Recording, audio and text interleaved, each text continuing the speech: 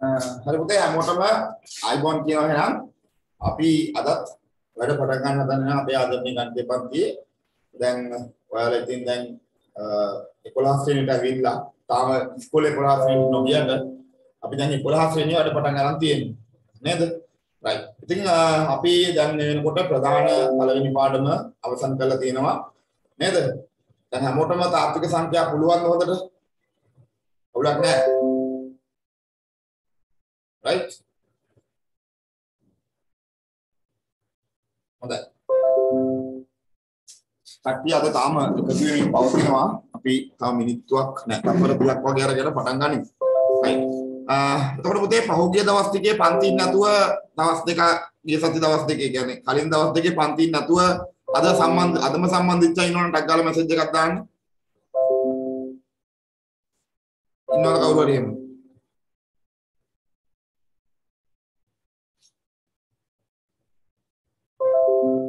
නේ හරි. රවින්දි අපි අන්තිමට කරපු ගාන මැසේජ් එකක් දාන්න රවින්දි මට්ටක් ගාලා. වචනෙන් ටයිප් එකක් කර ටයිප් කරමු නිකන් මොන වගේ ගානද කරේ කියලා. අපි නම් අද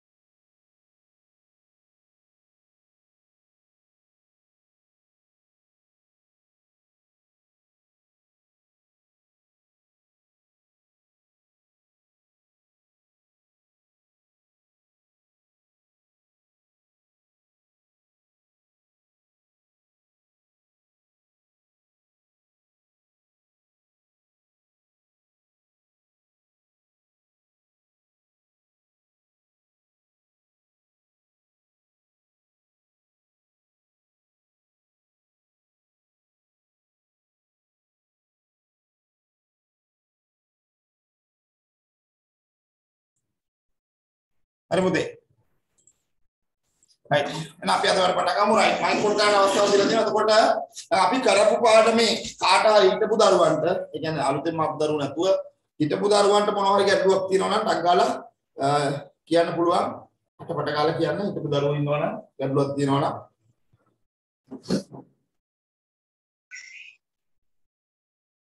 අවුලක් නැහැ. රවින්දි ගැටලුවක් නැද්ද පාඩම් ටිකේ? රවින්දි විතරයි වීඩියෝ උන් කරන් ඉන්නේ. සර් ඔව් කියන්න පුතේ. බෙදීම එක තමයි පොඩ්ඩක් අමාරු. බෙදීම එක තමයි පොඩ්ඩක් අමාරු නේද? right අපි අන්තිමට කරේ තා බෙදීම නේද? ඊට පස්සේ මම තව ගණන් දෙකක් විතර කියලා දුන්නා නේ. right. අද අපි දෙවනි පාඩමට යනවා. ඒ අතරතුර මම අදත් ඔයාලට පැහැදිලි කරන්නම් අය පුතේ. හරිද? කර්ණ බෙදීම පිළිබඳව ගැටලු තියෙන අයට පොඩ්ඩක් ආය දැනුම් තුනක් කරන්න. හරිද? අද පන්තිය අලුත් පාඩම පටන් ගන්න යන අතරතුර නිකන් ගණන් දෙකක් විතර මතක් කරන්න. හරිද? right. එතකොට අපේ දෙවනි පාඩම අද මම ආරම්භයක් ගන්නවා. පුතේ මම පාඩම් තුනක් ඉවර කරාට පස්සේ පාඩම් තුනක් ඉවර කරාට පස්සේ ඔයාලගේ මාසික පරීක්ෂණයක් මම තියෙනවා. හරිද? සාමාන්‍යයෙන් පාඩම් තුනෙන් තුනට තමයි මම ටෙස්ට් එකක් තියන්න හිතන් ඉන්නේ. එතකොට මේ පාඩම් තුනෙන් තමයි මම කරන්නේ. දැන් අපි 10 ශ්‍රේණිය හිටියා 9 ශ්‍රේණිය හිටියා. ඒත් දැන් කොරෝනාත් එක්ක ඔයාලට එක එක පාඩම් මැගෑරුණානේ. නේද? දැන් ඔන්න අවස්ථාවක් තියෙනවා ඔයාලට හරියට 11 ශ්‍රේණිය මුල ඉඳන් ඉගෙනගෙන යන්න. හරිද? ඒ හින්දා මේ ටික හොඳට අහගන්න මගේ වගකීමනේ ඔයාලගේ ප්‍රතිඵලය කොහොම හරි ඕ ලෙවල් වලට එකක් කරන් දෙන එක. ඒ හින්දා මම පාඩම් තුනකට සැරයක් වගේ ටෙස්ට් එකක් තියෙනවා. සමහරවිට පාඩම් දෙකකින් දෙකට වෙන්නත් පුළුවන්. right? අපි දැන් ටෙස්ට් එකක් තිබ්බම නැති නිසා හරිද? ඔයාලගේ ධර්ම පරීක්ෂා කරනවත් එක්ක තාත්වික සංඛ්‍යා පාඩමයි දැන් අද පටන් ගන්න දෙවනි පාඩමයි එකතු කරලා ටෙස්ට් එකක් තියන්න. එතකොට මේ ටෙස්ට් එක කොහොමද පවත්වන්නේ මොන ආකාරයෙන්ද කියන මම ඉදිරියට දැනුම් දෙන්නම්. හරිද? එතකොට මට පුළුවන් ඔයාලා කොහොමද දැන් මේකට මුහුණ දෙන්නේ කොහොමද දැන් මේ කරන ප්‍රයෝජනයක් තියෙන්නේ. මොකද මම ඔහේ අර නේද කරගෙන යනවා ඔයාලා අහන් ඉන්නවා ඒක විතරක් කළා මදි. අපි බලන්න ඕනේ අපේ ප්‍රගතිය කොහොමද කියන එක නේද? මොකද අවසානයේ ප්‍රතිඵලයටවත් කියන්න ඕනේ මමනේ. නේද? දෙමව්පියෝ වටිනා ඔයාලගේ මුදල වියදම් කරලා දෙමව්පියන්ගේ මුදල වියදම් කරලා ඔයාලා අපි ගාවට එවන්නේ. නිකම්ම නිකන් ඔහේ මේ ෆෝන් එක ගාවට වෙලා බලන් ඉන්න නෙවෙයි. ඒක ඒ හින්දා මේ පාඩම් දෙක ඉවරෙච්ච ගමන් ඔයාලා ටෙස්ට් එකක් තියෙනවා. ඒ ටෙස්ට් එක තියන්නේ කොහොමද? ඒක වීඩියෝ ඔන් කරලා ඔන්ලයින් එක Zoom එක හරහාම තමයි පුතේ අනිවාර්යෙන් මේ වැඩේ කෙරෙන්නේ. හොඳේ. නැත්නම් අපේ කට්ටියට ටෙස්ට් එකක් තිබ්බොත් ආ පස්සේ ලියන් එන්න කියලා හොඳට ලියයි. නේද? එහෙම වැඩක් නැහැ මට ඔයාලා වීඩියෝස් ඔන් කරන් ඉන්නේ නැද්දි. නේද? සියලුම දෙනා ලියනවද? ඈ කොපි කරනවද? ඒක අධීක්ෂණයක් යටතේ. හරිද? බොහෝ විට දෙමව්පියෙක්ට සම්බන්ධ වෙන්න වෙයි මේ වෙලාවට. හරිද? අම්මත් හරි තාත්තත් හරි ළඟ තියාගන්න ටෙස්ට් එක ලියවන තැනකට මම එනවා. හරිද? නැත්තම් අපේ ඌව මට සතපාකට ෂුවර් නෑ. ඕක මේ කරන ගණන් ටික පොත බලලා කරොත් වැඩක් තියේද? නෑ. ඔයාලගෙන් පඩි ගන්න නෙවෙයි ටෙස්ට් එකක් තියන්නේ. ගුරුවරු සහ පාසල් ඒවා ඔයාලගෙන් පඩි ගන්න ටෙස්ට් එකක් තියන්නේ නෑ. නේද? මම නම් ටෙස්ට් එක තියන්නේ ඔයාගේ ලකුණු අරගෙන ඔයාලට බනින්න නෙවෙයි. හරිද? මම ටෙස්ට් තියන්නේ ඒ ක්‍රමයට නෙවෙයි. මම ටෙස්ට් එකක් තියන්නේ මොකටද? ඔයාලගේ ලකුණු බලලා ඔයාලගේ හැදෙන්න ඕනි මොනවද කියලා මට තේරුම් ගන්න. නේද? එක එක්කෙනාගේ පෞද්ගලිකව හැමදේම බලා ගන්න ඕනින් ඉඳලා විවෘත ටෙස්ට් එකක් තියෙනවා. රයිට්? එහෙනම් ඒවට සූදානමින් එහෙනම් අපි අද වැඩවලට යන්. මම අද දෙවනි පාඩම ආරම්භ කරනවා. ඈ කවුරු හරි මයිකොන් කරලා කියන්න බලන්න. මම අච්චුපොත දාලා තියෙනවා. නේද? එහෙනම් කාටවත් අච්චුපොත නෑ කියන්න බෑ. දෙවනි පාඩම මොකක්ද අපේ? ඈ දර්ශක හා ලඝු ගණක. ඉතින් දෙන්නේ කරි බලපුවා. ඉන්නවා. දර්ශක හා ලක් ගණක. නේද 10 දිත් අපි කරා. ඒ වුණාට 11 දී සියලුම පාඩම් හරි පිළිවෙලට මුල ඉඳන් කරගෙන යන් එහෙනම් දර්ශක හා ලක් ගණක ලස්සනට මාතෘකාව ලියා ගන්නවත් තරම් පුතාලා. අද පාඩම තමයි දර්ශක හා ලඝු ගණක. right? එතකොට ඔයාලා දන්නවද? ඇයි මේ පාඩම් දෙක තාත්වික සංඛ්‍යයි දර්ශක හා ලක් ගණකයි මුලින්ම දාලා තියෙන්නේ ඇයි කියලා ඔයාලා දන්නවද? ඔය ඉගෙන ගත්තට වැඩකුත් නැහනේ. මුලින්ම දාන්න හේතුව තමයි මම පුතේ මේ පාඩම් තාත්වික සංඛ්‍යා පාඩම සහ මේ දර්ශක හා ලක් ගණක කියන පාඩම් හැම පාඩමකම සුළු කිරීම වලට ප්‍රයෝජනවත් වෙනවා. මේ දර්ශක හලක් ගණක කියන එක පුතේ හරිද? ගොඩාක් පාඩම් වල ශ්‍රේණි පාඩමට හරිද? එතනින් ගියාම පරිමාව පාඩමට නේද? මේ ගොඩාක් ත්‍රිකෝණමිතිය පාඩම් වලට ත්‍රිකෝණමිතිය කියලා එකක් තියෙනවා 11 වසරේ ඉගෙන ගන්න නිකමට හරි පොත් බෙල්ල බලන්න. ඒ පාඩමට ඒ ඔක්කොම ප්‍රධාන ගණන් පරිමාව කියන්නේ ප්‍රධාන ගණන් ත්‍රිකෝණමිතිය කියන්නේ ඔලවල වල ප්‍රධාන ගණන් ඒ ප්‍රධාන ගණන් හදන්න සපෝට් එකක් වෙන පාඩම් තමයි මේ දර්ශක හලක් ගණකයි තාත්වික සංඛ්‍යා කියන්නේ එකයි දෙක මුලින් දාලා තියෙන්නේ. ඉතින් අපි දෙක මුලින් හරියට ඉවර කරගමු. දර්ශක හා ලක්ගණක රයිට් 11 ශ්‍රේණි දරු විදිහට දන්නවා මේ වෙනකොට දර්ශක කියන්නේ මොනවද කියන එක. අපි මුලින් ඉඳන් හැමදේම ලියමු එකට. හරිද මම කෙටියෙන් දෙන්නම් පුළුවන් තරම්. ඔයාලට ඔන්ලයින් හරහා ලියන්න ගියාමත් එපා වෙනවනේ. එහෙනම් බොහොම කෙටියෙන් මම දෙන්නම්. දර්ශක කියලා කියන්නේ පුතේ හරිද එකම සංඛ්‍යාවක් හරි එකම වීජීය සංකේතයක් හරි කොහොම පුන පුනා ಗುಣ වෙලා තියෙනවා නම් ඔක දිගට ලියන්න කරදරයිනේ. ඔක හකුලවා කෙටි කර ලියන්න පුළුවන් ආකාරය තමයි දර්ශක කියන්නේ. මෙතන දෙකේම 1යි 2යි 3යි 4යි 5යිනේ. දෙකේම පහක් ಗುಣ වෙලා තියෙනවා කියන්න මෙන්න මෙහෙම උඩින් චූටියට පහක් දානවා. මේක තේරුම දෙවරක් පහ නෙමෙයි. මේක තේරුම දෙවරක් පහ එහෙම නෙමෙයි. මේක තේරුම දෙකේම පහක් ಗುಣ වෙලා කියන එක නේ. දෙවරක් දෙක 4යි, හතර වරක් දෙක 8යි, අට වරක් දෙක 16යි, 16 දෙක 32යි. මේක ඇත්තටම අගය දෙවරක් පහ 10 නෙවෙයි මේක ඇත්තටම අගය 32යි. මෙන්න මේකට කියනවා දර්ශක කියලා. මෙන්න මේකට තමයි දර්ශක අංකණය කියලා කියන්නේ. එතකොට මේ දර්ශක වල මේ යට තියෙන එකට කියන්නේ පාදය කියලා. එහෙනම් මේ ලියලා තියෙන දෙකේ පාදයෙන් ලියලා තියෙන්නේ. මේ උඩ තියෙන එකට කියන්නේ පුතේ දර්ශකය කියලා. මේ උඩ තියෙන එකට කියන්නේ දර්ශකය කියලා. හරිද? right. ඔය සියලුම දේවල් ලියාගමු. මෙන්න මේක තමයි දර්ශක කියලා කියන්නේ. නේද? එකම සංඛ්‍යාවක් හරි එකම වීජ්‍ය සංකේතයක් වේවා උමක්කෝ එකම දෙයක් නේද? කීප විටක් පුන පුනා ಗುಣ වෙලා කියනකොට ඒක කෙටි කරලා ලියන ආකාරය දර්ශක. හරිද? ඒක ආයේ මේ සිංහලෙන් ලියා ගන්න ඕනේ 11 පන්ති ළමයි විදියට ඔළුවට දාගන්න දැම්මම සහ මෙන්න මේක දාගන්න මෙන්න දර්ශක කියන්නේ මේක කියන එක. කෙටියෙන් මම පුළුවන් තරම් නෝට් එක දෙන්නම් දිග්ගස්සන්න නැතුව ඔයාලට පහසුවක් වෙන්න. right? පැහැදිලි නේද? හරි. දැන් ඔහොමම අභ්‍යාසයක් කරනවා මම පහත ප්‍රකාශන පොඩිම තැන ඉඳලා මම යන්නේ මයි පුතේ පහත ප්‍රකාශන දර්ශක ආකාරයෙන් ලියන්න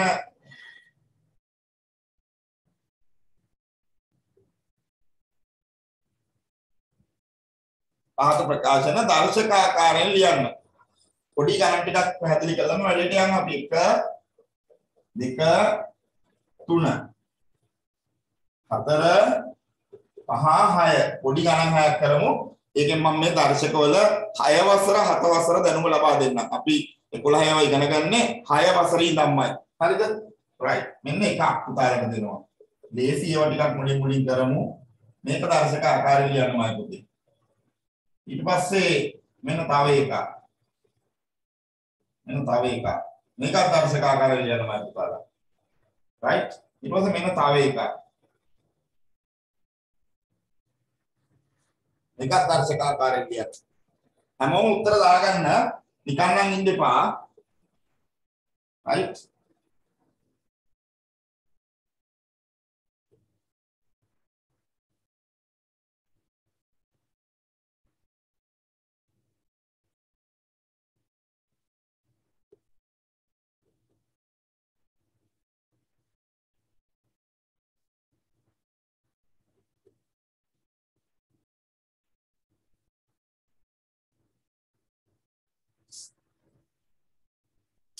මෙන්න පුංචි ගණන් හයක් තියෙනවා. මේවා දන්නවා.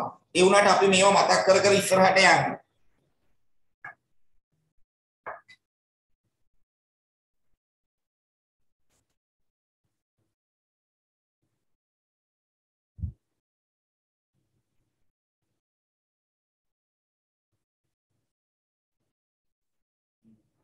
Yeah, I think you are.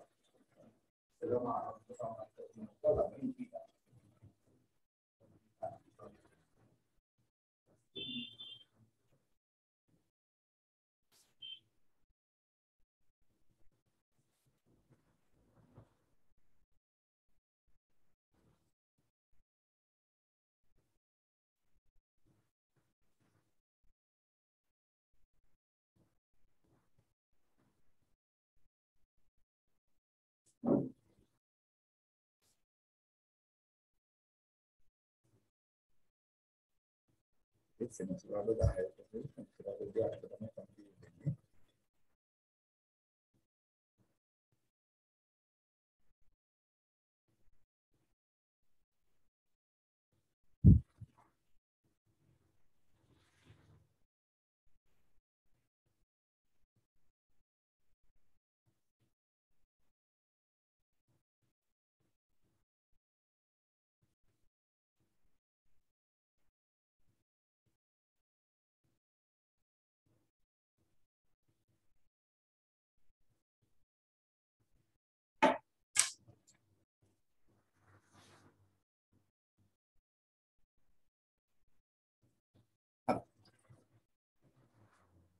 පළවෙනිකට උත්තරේ කියන්න විදර්ශනී.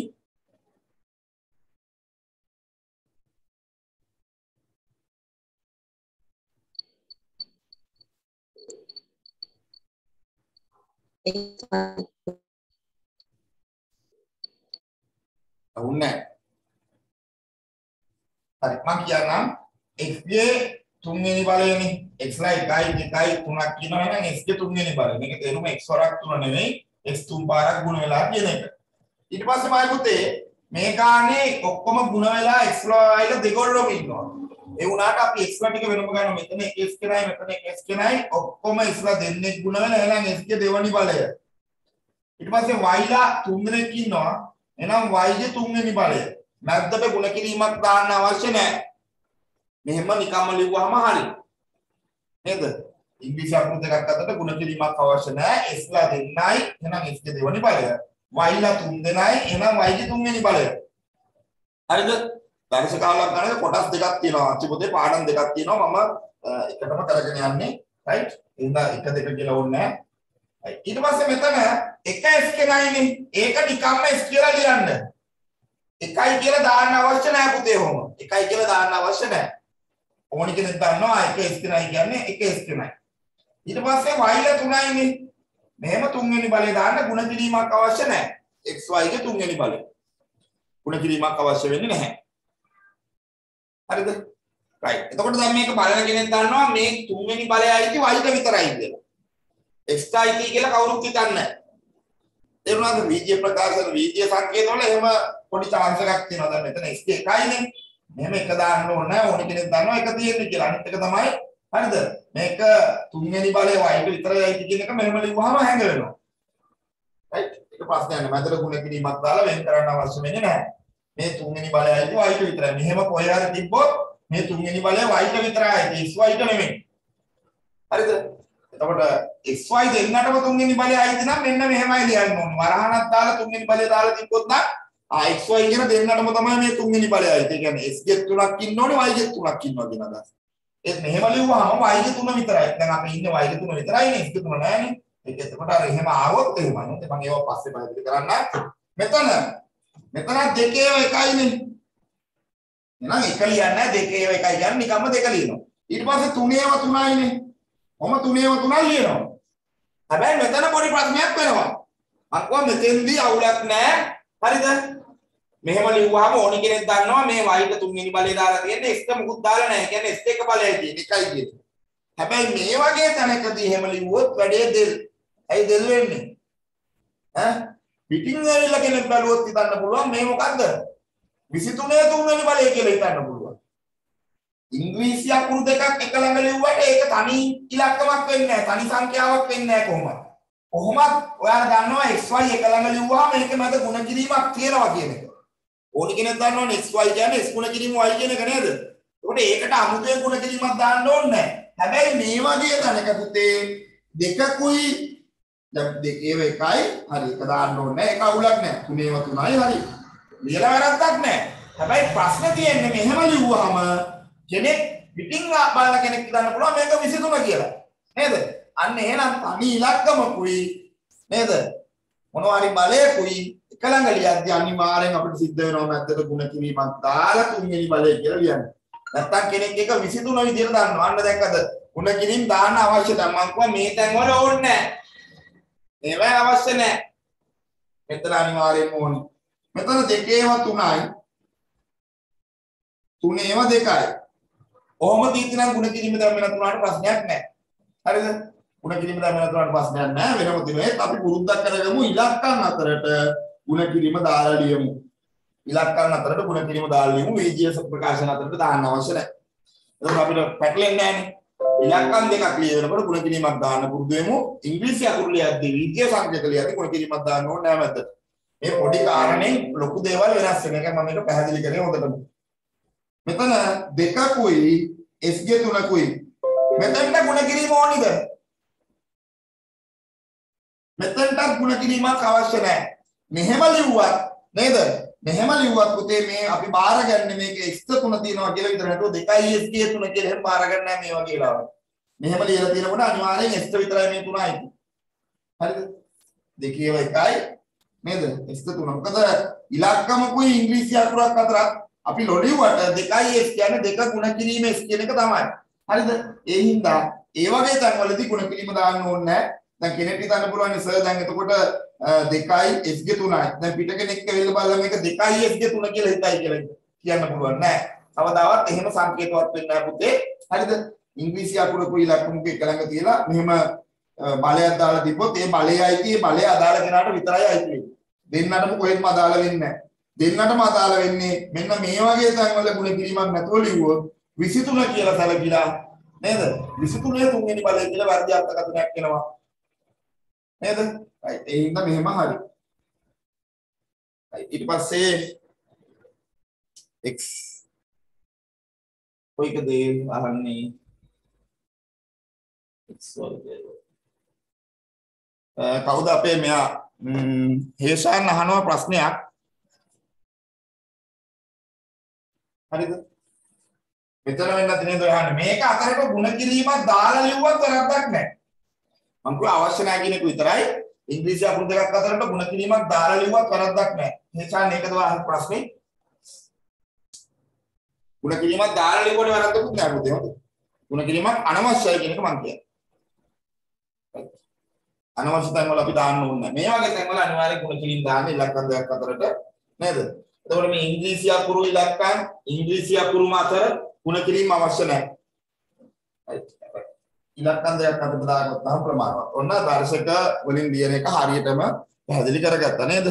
right අන්නෙම ප්‍රශ්න අහන්න ඕනේ Tamanට තියෙන ගැටලු. හේෂාන් හොඳ ළමෙක් අහුව ප්‍රශ්නයක්. හරි. එන්න මෙහෙම තමයි මේ ටික එන්නේ නේද? කාටවත් ගැටලුවක් නැහැ නේද?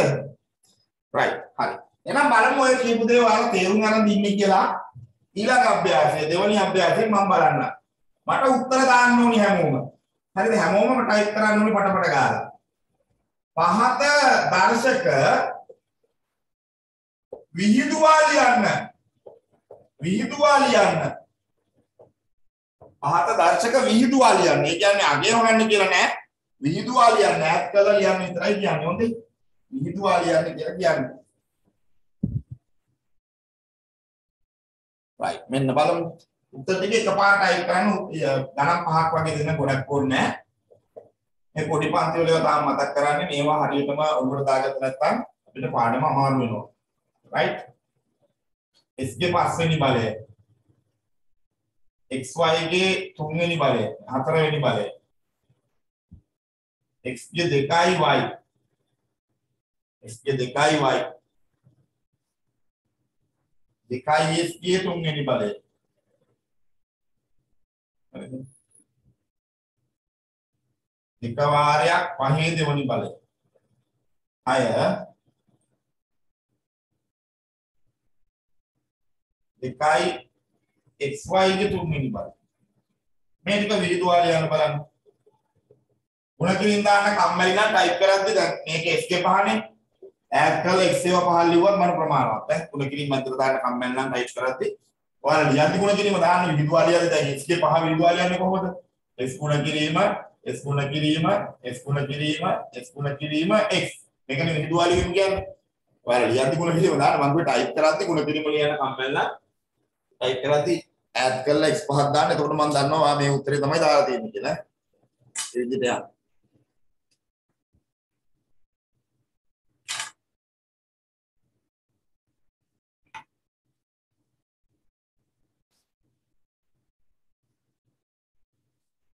එකපාර උත්තර පහම දාන්න හයම දාන්න වෙන සරින් සරේ දාන්න එපා. එතකොට බලන්න කරදරයි මට. හැමෝම උත්තර දාන්න පුතේ ඔයාලගේ හරි වැරදි මට බලලා කියන්න ඕනේ. එතකොට මොකද අඩු ඔයාලගේ අඩුපාඩු මම දැනගෙන ඉන්න ඕනේ. එතකොට තමයි ඔයාලගේ අඩුපාඩු හදන්න පුළුවන්.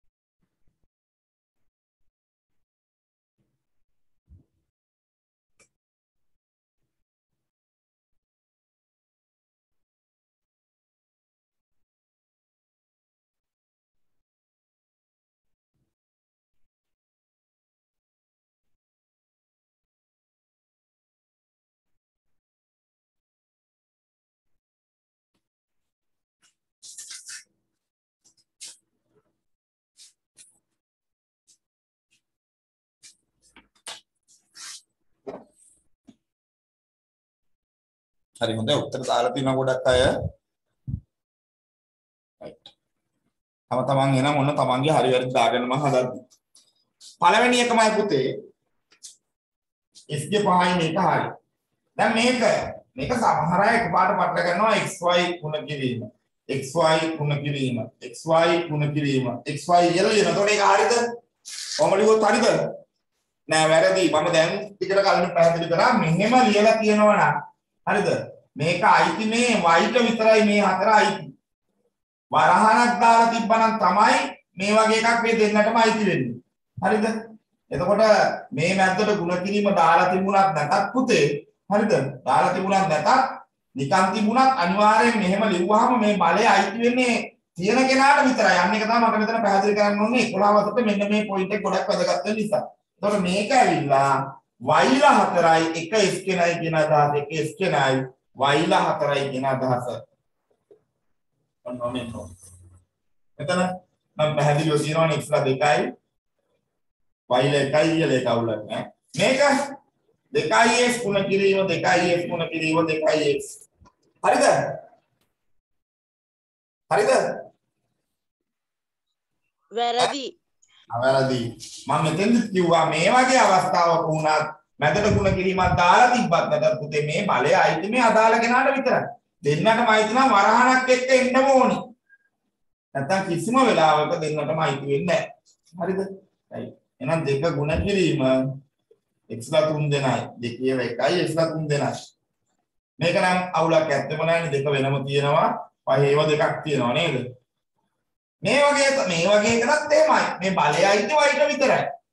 දෙක ගුණ කිරීම s ගුණ කිරීම y ලා 3 දෙනයි. ඔන්න විහිදුවා ලිව්වා. නේද? හරි ලේසි. විහිදුවා ලිව්වා. මේ පුංචිම තැන ඉඳලා අපි යන් අපිට කලබලයක් නැහැ. අපි හරියට වැඩේ කරගෙන යමු පුතේ. එක දෙයක්වත් මගාරින් නැතුව. අයි එතකොට හැමදාම වගේ දැන් ඔයාලා මේ පන්තියට වාඩි වෙද්දී මූණ එහෙම හොදලා පන්තියට වාඩි වෙන්න පිළිසිදුව. දැන් මම දන්න තරමින් මගේ මේ 11 ශ්‍රේණියේ දරුවන්ගෙන් රාත්‍රී 8යි පන්තියට මූණ හොදගෙන එන්නේ ළමයි දෙන්නයි. විදර්ශනී කවුද අනිත් එක්කෙනා මේ මේ කවුද අපි මෙයා නම් මතකත් නැහැ දැන්. අපි කවුද රවින්දීද?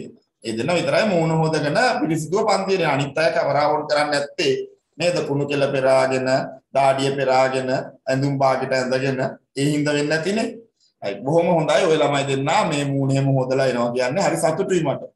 මොකද 11 වසර ළමයි පිරිසිදු ඉන්න ඕන ලොකු ළමයිනේ තාම. එකේ පන්ති දෙකේ පන්ති ළමයි වගේ නෙමෙයිනේ. හරි ඉතින් මට සතුටුයි දෙන්නෙක් හරි. එහෙම පිරිසිදුව පන්තියට වාඩි වෙන්නේ ගැන හරිද අනිත් ඒව වීඩියෝ ඔන් කරන්නේ නැහැ ඉතින් ඒ හේතුව අරක. නේද? right. තුන්වෙනි එක. තුන්වෙනි එක දැන් අපි නම් මම මේ ගණන් වලින්ම මේ පාඩම උන් පැහැදිලි කරන්න ඔයාලට පහසු. දැන් අපිට තේරෙනවා ඔන්න නේද විහිදු ආලියන්නයි අකුළු ආලියාගන්නයි නේද? ඒ දෙක දන්නවද? එතන අර පොයින්ට් එක මතක තියාගන්න නේද? ඉලක්කම් දෙකක් අතරට ಗುಣ කිරීමක් දාන්න ඉංග්‍රීසි අකුරු අතරට ಗುಣ කිරීම අවශ්‍ය නැහැ. අකුළු ආලියත් නේද? දර්ශකාකාරයෙන් ලියන්න. ඒතර විහිදු ආලියත් ඔයාලට මතක තියෙන්න ඕනි. හරිද? අර ඕක වැදගත් වෙනවා පොයින්ට් එක. දැන් උදාහරණයක් විදිහට දැන් අපිට පස්තාර දාක් තියෙනවා. 2x වර්ගයේ ඍණ 3 පස්තාර. මේ 10 ශ්‍රේණි ඉගෙන ගත්තා මේවා ආදේශ කරද්දී නේද? ඔන්න මෙතන මේවා පටල ගන්නවා. මේ දැන් තේරෙනවනේ. මේ වගේ තැනක මේ වර්ගය අයිති කාට විතරද? x ට විතරයි. දෙකට අයිති නෑ නේද? ආයකට හැම තැනකම මම මේ කියන කතාව වැදගත් වෙනවා. ඒකයි මම මේ වෙලා අරගෙන මේවා මෙහෙම මෙහෙම කියන්නේ මම හිතුවේ හොඳට ඔළුවට දාගන්න ඔයාලා. හැම පොයින්ට් එකක්ම වැදගත්. නේද? දැන් පස්තාර පාඩමේ ආදේශ කරද්දී නේද? දැන් අර අගේ වගුවේ පුරවන්න තියෙනවනේ අපිට. ඒවට x දෙක එක අගයන් තියෙනවා, ඍණ දෙක, ඍණ තුනෙම තියෙනවනේ. මේවා දාද්දි දැන් මේ වර්ගයයි x විතරයි. හරි. එතකොට මේ දෙක වෙනම ලියලා නේද? x වර්ගය වෙනම තමයි මේක තියෙන්නේ කියන එක මතක තියාගන්න. දෙක වෙනම තියෙන්නේ, x වර්ගය වෙනම තියෙන්නේ. හොඳයි. ඒකට මේ දේවල් තමයි ඔයාලා හොඳට ඔළුවට දාගන්න ඕනි දේවල්. නැතුව මේ පාඩමක් ඉවර කරගත්තට බෑ. අපේ O level නේ අපේ ටාගට් එක නේද? right. මම ඉතින් කරන්න පුළුවන් සාධාරණ ඔයාලා වෙනුවෙන් කරනවා. ඔයාලා හොඳට ඒක ඔළුවට දාගන්න right. හරි. එහෙනම් අපි ඊළඟට යන්න හදන්නේ. හරිද? අගය සොයන්න යන්න හදන්නේ. දැන් මේකත් වැදගත්. මේවත් පුළුවන් වෙන්න. අගය සොයන්න. අගය සොයන්න. right? ඔන්න ඊළඟ වැදගත් ගන්න. මේවා ඕනි වෙනවා නිතරම. දැන් මේ පොඩි පොඩි ගණන් වලින් පටන් ගන්නවම අංකාර වල මේ අගයස් වලන්නේ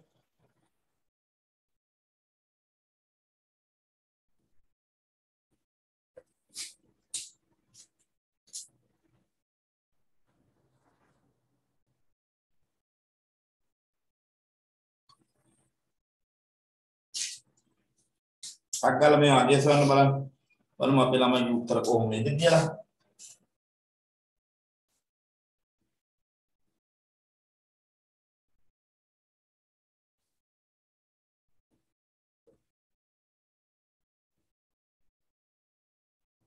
මේකෙන් ගන්න මම ගොඩක් වෙලා දෙන්නම් මේ ගණන් ටිකට නම්.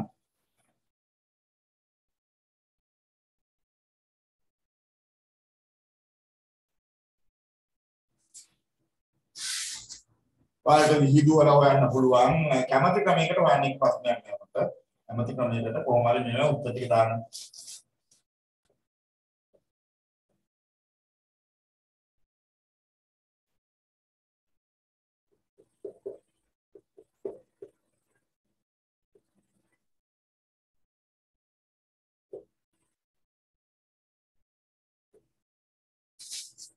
එන්න ගණන් 9යි 10ක් තියෙනවා. ඒ මේ 10 මම හොඳට පැහැදිලි කරනවා මේ ගොඩක් වැදගත් මේ ගණන් ටිකක් සාකච්ඡා කරන එක. මේවා දන්නවා ඒ වුණාට පොඩි කාලේ කරපුවා මතක නැතුව ඇති කියලා තමයි මම මේ පොඩ්ඩක් නැවත නැවත මේවා පැහැදිලි කරමින් යන්නේ මම බුද්ධි.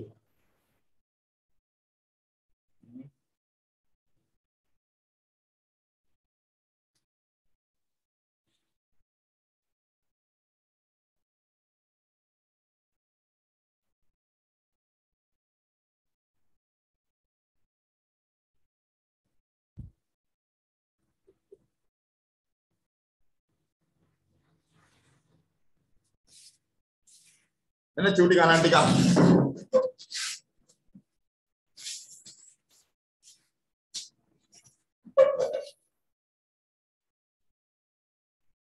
මේ පන්ති ඉන්නවද අනුරාධපුර පැත්තේ දරුවෝ අනුරාධපුර පොළොන්නරු පැත්තේ දරුවෝ ඉන්නවද?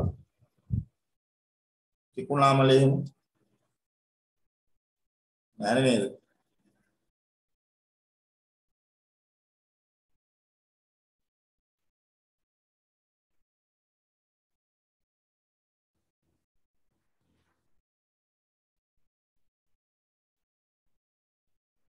Right.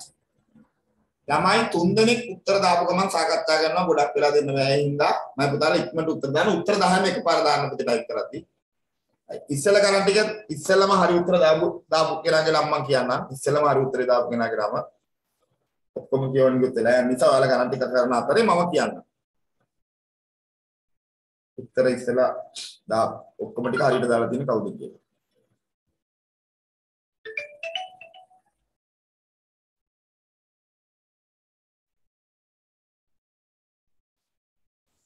ඉස්සලම උත්තරේ දාලා තියෙන්නේ බිමල්කා තමයි හරි උත්තරේ ඉස්සලම දාලා තියෙන්නේ උත්තර පහම බිමල්කා right.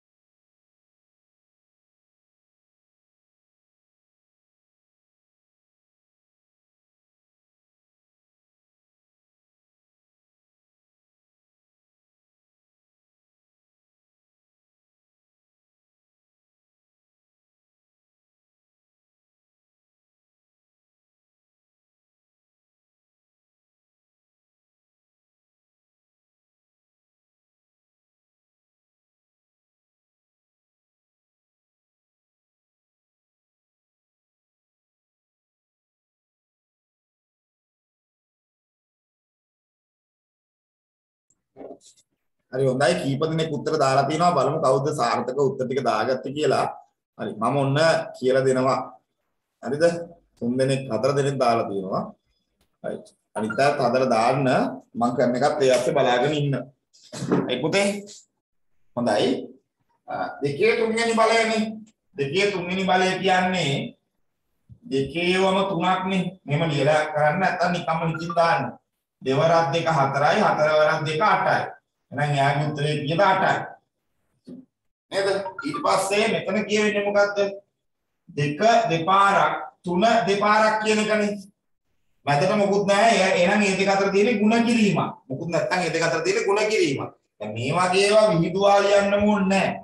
හරිද? ඉතින් කරන්න දෙක දෙපාරක් කියන්නේ කොහොම දෙවරක් දෙකනේ. දෙවරක් දෙක එතන හතරයි. ಗುಣ කිරීම තුන දෙපාරක් කියන්නේ තුනවම දෙපාරක් ගුණ වෙනවා. තුනේ දෙවෙනි ඵලය කියන්නේ තුන දෙපාරයි කියන එක. තුන් වරක් තුන කීයද? 9යි. කලබලයට තුන් වරක් දෙක 6යි කියලා දාගන්න එපා. තුනේ දෙවෙනි ඵලය කියන්නේ තුනම දෙපාරක් ගුණ වෙනවා. ඒතර තුන් වරක් 3 9යි. අන්න එහෙම දාගන්න. එතකොට මේ ඔක්කොම ඈඩ් කරලා යන්න ඕනේ නැහැ. හතර වර 9 කීයද? 36යි. නේද? අපිට එහෙම දාන්න පුළුවන් ඩක් ගාලා. හැදෙන්නේ නේද? right අර විදුවාලියනවා කියලා ඈඩ් කරන්න ඕනේ නැහැ ඔක හැම වෙලෙම. ඊට මේක ආ ඒක නම් මම ලියලා කරලා පෙන්නන්නම්. පළවෙනි එකකින් දා ඍණ ගණන් වල. ඍණ දෙක හතර පාරක් ඔන්න පස්සේ ඉතින් දාන්නේ කොහොමද කියලා කියලා දෙන්නම්.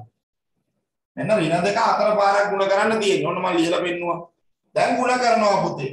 දෙවරක් දෙක හතරයි හතරවරක් දෙක අටයි අටවරක් දෙක 16යි ඉලක්කම් වලින් උත්තරේ 16යි ලකුණු වලින් මේ දෙන්නගේ ලකුණු දෙක ගුණ කරනවා ඍණයි ඍණයි ධන. ආ දැන් මේ වෙනකොට උත්තරේ ධන. ඊට පස්සේ ඒ උත්තරේ මේ මේකෙන් ගුණ කරන්න ඕනේ. ඍණයි ඍණයි ධන. ආයේ ආපු උත්තරේ මේ ඍණ ලකුණෙන් ගුණ කරනවා. ධනයි ඍණයි ඍණ. දැනට උත්තරේ ඍණ. ඊට පස්සේ ඒ උත්තරේ තායි මේ ඍණ ලකුණෙන් ගුණ කරන්න ඕනි. ඍණයි ඍණයි ධන. එහෙනම් උත්තරේ දෙන්නේ ධන 16යි කියලා. ආයෙ බලන්න. ඍණයි ඍණයි ධන. ධනයි ඍණයි ඍණ ඍණයි ඍණයි ධන. අවසාන උත්තරේ ධන. පැහැදිලි නේද? එහෙනම් මෙයාගේ උත්තරේ එන්නේ මොකද්ද? ධන 16යි එන්නේ. ධන දාන්නම අවශ්‍ය නැහැ. මම මේ ටික පැත්තකින් දීලා පස්සේ දාගන්නම් මෙතනට.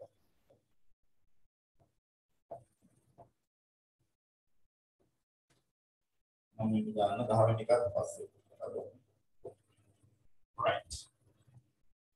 ඔන්න උත්තරේ. ධන 16 ආවේ කොහොමද කියලා පැහැදිලි නේද මේ? එහෙනම් මේ අපිට මකුවන් දැන් ඒක ඕනේ නෑනේ. ඊට පස්සේ මෙතනත් පෙන්නන්න ඍණ දෙක තුන් පාරක්.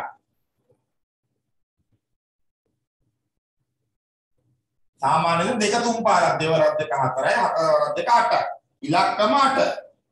උත්තරේ 8 ලකුණු ඍණයි ඍණයි ධන ධනයි ඍණයි ඍණ නේද ඉතින් කරන්නේ ඍණයි ඍණයි ධන ධනයි ඍණයි ඍණ ඍණයි ඍණයි ගුණ කරාම උත්තරේ ධන දැන් උත්තරේ ධනනේ ධන ඉඳන් ආය ගුණ කරන්න. ධනයි ඍණයි ඍණ ඍණයි ඍණයි ධන ධනයි ඍණයි ඍණ එහෙනම් මෙයාගේ උත්තරේ ඍණ මම ඍණ ආපින්ද වරහන් දැම්ම අර පැහැදිලි උත්තරයක් දෙන්න ඕනින්ද right ඔන්න ඔමයි ඔය ගුණ වෙන්නේ නේද? එතකොට මේ දෙකේ කෙටි ක්‍රමය මොකක්ද මම පුතේ කෙටි ක්‍රමය මේකයි.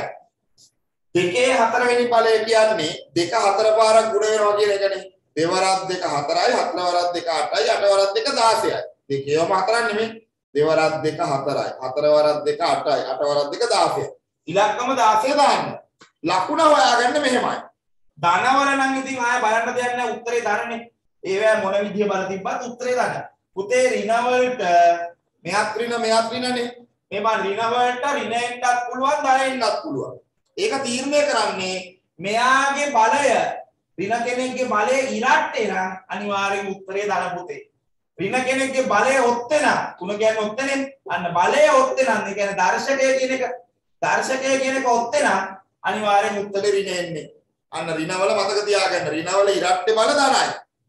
ඍණවල ඔත්තේ බල ඍණයි. එහෙනම් මේක මෙහෙම ලියලියා ගුණ කරන්නේ නැතුව අපිට බැරිද ටක් ගාලා උත්තර දාන්න. මේ බලන්නකෝ. දෙක හතර පාරක් දෙවරක් දෙක හතරයි හතර වරක් දෙක අටයි අට වරක් දෙක 16යි සංඛ්‍යාව 16 ලකුණ ඍණවල ඉරට්ටේ බල අනිවාර්යෙන් ධන. ආ උත්තරේ ධන 16 ධන දැම්මේ නැතත් කමන්නේ නැහැ. ධන වලට නේද? ධන දාන්නම අවශ්‍ය නැහැ. ඊට පස්සේ දෙක තුන් පාරක් ගුණ කරනවා. දෙවරක් දෙක හතරයි. හතරවරක් දෙක අටයි. දෙක තුන් පාරක් ගුණ කරා. සංඛ්‍යාව 8 ඍණවල ඔත්තේ බලයක් තියෙන්නේ. ඍණවල ඔත්තේ බලය ඍණ පුතේ. ආ උත්තර දෙක. Right. එහෙනම් මේවටත් අපි ටක් ටක් ගාලා උත්තර දාමු නේද? ඈ? ඍණ එකේ 50 වෙනි බලයේ උත්තරේ කීයද? එකේ 50 වෙනි බලයේ උත්තරේ කීයද? කවුරු හරි කියන්නකෝ මයික් ඔන් කරලා. ධන පණ ධන 50යි ෂෝක් හොඳයි. තව තව කව උත්තර කියන්න පුතේ? එකේ 50 වෙනි බලයේ උත්තරේ කියන්න. අපරාධ කියන්න බෑ. උත්තර දාලා තියෙන ඔක්කොම හරියට ධන 50යි කියලා දාලා තියෙනවා. ගොඩාක් සතුටුයි එකයි. ඈ? එකයි? එකයි කියන්නේ කොහොමද මේ ගොඩක් අය උත්තර දාන්නේ? 50යි කියලා හරි. අපි ඒ ගැන කතා කරමු. මම මේ සතුටු කිව්වේ 50 දාපුවාගේ උත්තරේ හරි හින්දා නෙමෙයි හොඳේ. මේ සතුටු කිව්වේ මට හදන්න දේවල් ඔයාලගේ තියෙනවා දෙන්න. හරිද? right හරි. අපි බලමු. හරි. එක 50 පාරක් ලකුණු ගැන දැන් අපි දන්නවා ලකුණු ගැටියෙන් දාන්න දන්නවා. ඍණවල 50 කියන්නේ ඉරට්ටේ සංඛ්‍යාවක්. ඍණවල ඉරට්ටේ බලය අනිවාර්යෙන් ධන. ඍණවල 51 කියන්නේ ඔත්තේ බලයක්නේ එහෙනම් ඍණවල 51 වෙනි බලය. ඒ කියන්නේ ඍණවල ඔත්තේ බලය අනිවාර්යෙන් ඍණ ලකුණු දෙක ධනයි ඍණයි උත්තර දෙකේ. මෙහා 50 ඉඳ 50 ඉරට්ටේ ඍණවල ඉරට්ටේ බලයක් කියන්නේ ධන. ඍණවල ඔත්තේ බලයක් කියන්නේ ඍණ දැන් සංඛ්‍යාව දාගමු. එක 50 පාරක් ගුණ කරන්න.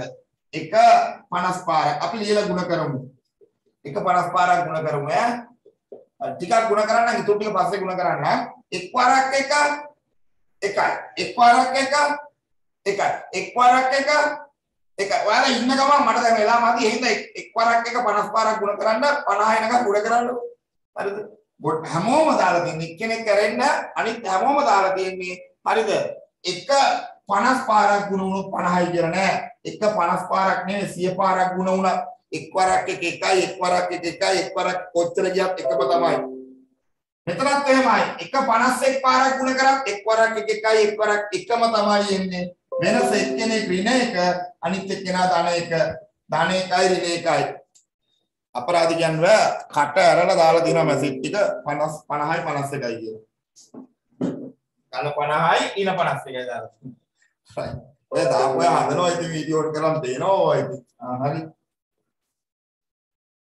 ඊට පස්සේ දෙක ಗುಣ කිරීම ඍණ තුනේ තුන්වෙනි බලය. ඔන්න දැන් අපි කෙටි ක්‍රම දන්නවනේ. හදමු බලන්න. ආ දෙක කියන්නේ දෙකමයි. ඒක එහෙමම තිබ්බා. ಗುಣ කිරීම. දෙක කියන්නේ දෙකනේ. ඒක එහෙමම තිබ්බා ಗುಣ කිරීම. ඍණ තුනේ තුන්වෙනි බලය කෙටියෙන් දාමු. ඍණ වල ඔත්තේ බලයක්. එහෙනම් අනිවාර්යෙන් ලකුණ නම් ඍණ. තුන තුන් පාරක්. තුන් වරක් තුන 9යි, නම වරක් තුන 27යි. තුන තුන් පාරක් කියන්නේ 27යි. ඕ මෙයාගේ වෙනම දාගත්ත දෙක මෙයාගේ උත්තරේ වෙනම දාගත්ත. බලන්න ඍණවල ඔත්තේ බලයමයි පුතේ ඍණනේ. ඍණවල ඔත්තේ බලය ඍණ. තුන තුන් පාරක්. තුන තුන් පාරක්. තුන් අර තුන නම නම තුන 27. අර දිගට ලියලියා ඉන්න ඕන කෙලින් උත්තරේ දාන්න ඊට පස්සේ. දෙවරක් 27 54යි. දෙවරක් 27 54යි. මේ දෙනක ලකුණු දෙකක් ගුණ කරන්න. මෙයා ධන, මෙයා ඍණ. ධනයි ඍණයි ඍණ. ಗುಣ කරද්දී ලකුණු අනිවාර්යෙන් ಗುಣ කරන්න. දැන් මේවා ලකුණු ಗುಣ කරේ නැත්නම් ධනවල ලකුණු ಗುಣ කරන්න ඕනේ නැහැ. ධනවල ලකුණු ಗುಣ කරන්න ඕනේ නැහැ. හරිද? මේවා ಗುಣ කරන්න ඕනේ නැහැ කෙටි ක්‍රමයක් කියලා දුන්නානේ. මේවා කෙටි ක්‍රමයක් කියලා දුන්නා. මෙතනත් එහෙමයි. මේකේ කෙටි ක්‍රමය කියලා දීලා තියෙන්නේ. හැබැයි මේ දෙන්න ಗುಣ කරද්දී එතනක ලකුණු ಗುಣ කරන්න. ධනයි ඍණයි ඍණ. දෙවරක් 27 54. දෙවරක් 27 54. right? ඔන්න පළවෙනි ගණන් 7. අටවෙනි එක බලමු. ආ මේක දැන් හිතින් දාගන්න පුළුවන් අය පුතාලට. ඍණවල ඔත්තේ බලයක්. ඍණවල ඔත්තේ බලයක් නම් අනිවාර්යෙන් උත්තරේ ඍණනේ. දෙකේ තුන්වෙනි බලය. දෙකේව තුනක්. දෙවරක් දෙක හතර හතරක් දෙක අට. එතනින් උත්තරේ ඍණ. ಗುಣ කිරීම. මෙයාගේ ලකුණු නෑනේ. ලකුණු නැති වෙයි ලකුණු ගැන හිතන්න එපා. තුනේ දෙවනි බලය කීයද? තුනේ දෙවනි බලය ගැන තුනේව දෙකක් තුන් වරක් තුන නමයි. ඒකට ලකුණක් දාන්න යම ඍණ නැත්තම් ලකුණු නැත්තම් ලකුණු ගැන හිතන්න එපා ඒක. නිකම්ම උත්තර දාන්න තුනේ දෙවෙනි බලය නම. මෙයාගේ ලකුණු තියෙනවා ලකුණු ගැන හිතන්න වෙන වෙන. ඍණවල තුන්වෙනි බලය ඍණ. දෙකේ තුන්වෙනි බලය. මෙතන ಗುಣ කරමු 8 වරක් 9 72යි. අන්න දෙන්නේ ಗುಣ කරොත් ලකුණු ಗುಣ කරන්න. මෙයා ඍණ මෙයාගේ මොකුත් නැහැ කියන්නේ ධන ඍණයි ධනයි ඍණ ඍණ 72යි.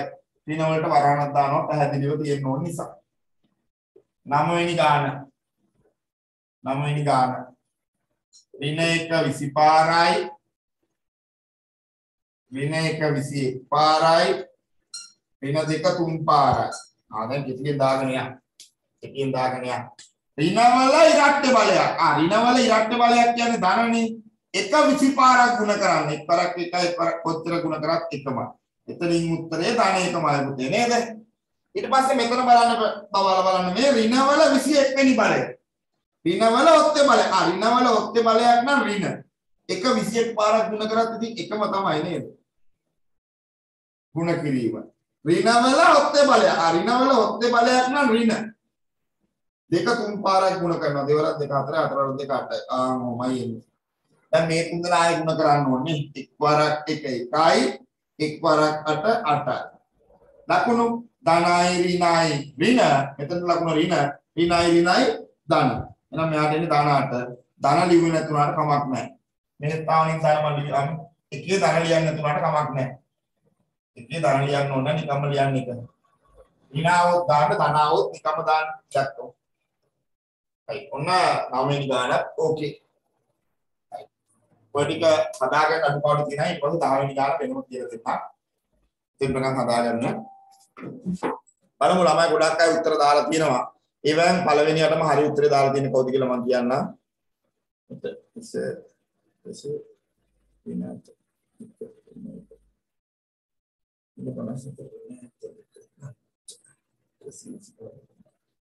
right. ඉස්සලම උත්තරේ දාලා තියෙන්නේ යාකු නම් කියන්න තමයි අමාරු. රිවිෂා සික්මි කියලා දරුවෙක් නේ. රිවිෂනේ ධර්මනම රිවිෂ තමයි ඉස්සලම උත්තරේ දාලා තියෙන්නේ. සහ එයාගේ උත්තර 10ම හරි. දැන් හොඳට පැහැදිලි කරලා තියෙනවා රිවිෂා වෙන්න ඕන. ආ right I S H revision. Revision. ඒතරෝක තමයි උත්තර ඉස්සලම දාලා තියෙන්නේ තියා එයාගේ උත්තර 10ම හරි. ඊට පස්සේ දාලා තියෙන දරුවා නම් කියන්න හොඳ නැහැ ඉතින් වරදුනාම. එයාගේ වැරදි සමහර ඒවා. ඊළඟට තුන්වෙනියට දාලා තියෙන එක්කෙනාගේ සමහර ඒවා වැරදි. හතරවෙනියට දාලා තියෙන එක්කෙනාගේ සමහර ඒවා වැරදි පස්වෙනියට දාලා තියෙන එක්කෙනාගේ සමහර ඒවා වැරදි හයවෙනියට දාලා තියෙන එක්කෙනාගේ සමහර ඒවා වැරදි. හත් දෙනාගේ උත්තර මට සපයලා තියෙන්නේ ඈ හත් දෙනාගෙනුත් එක්කෙනාගේ හරි. Right. එහෙනම් අපි අන්තිම කොටසේ බලමු. මේක මකරන වෙනකොට ටික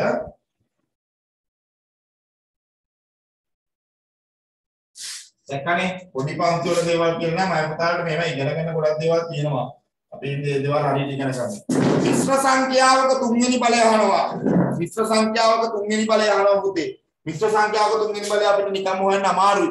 එහෙනම් මේක විෂම කරගමු. කොහොමද මිශ්‍ර සංඛ්‍යාව විෂම කරන්නේ? දෙවරක් දෙක හතරයි. හතරයි මේකට එකක් එකතු කරනවා. දෙවරක් දෙක හතරයි. හතරයි එකයි පහයි. යටට දාන්නේ දෙකමයි.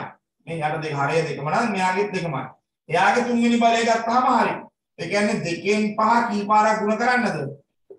දෙකෙන් පහ තුන් පාරක් ගුණ කරන්න කියලා කියන්නේ. දෙකෙන් පහේ තුන්වෙනි බලය. මිශ්‍ර සංඛ්‍යාව ගුණ කරන්න බෑ විෂම කරගෙන ගුණ කරමු. දැන් ගුණ කරමු 5 සරක් පහ 25 25 සරක් පහ 125. යට දෙවරක් දෙක හතරයි හතරවරක් දෙක අටයි. උත්තරේ 8න් 125යි. 8න් 125යි උත්තරේ. ඒත් අපි විෂම විදිහට උත්තර තියෙන එක හරි නෑ. එහෙනම් මේක මිශ්‍ර කරලා තියෙන එක තමයි වඩා ලස්සන. 125ට 8 ඒවා කීයද? 125ට 8 ඒවා තියෙනවා 1යි හතරක් ඉතුරුයි 45ට.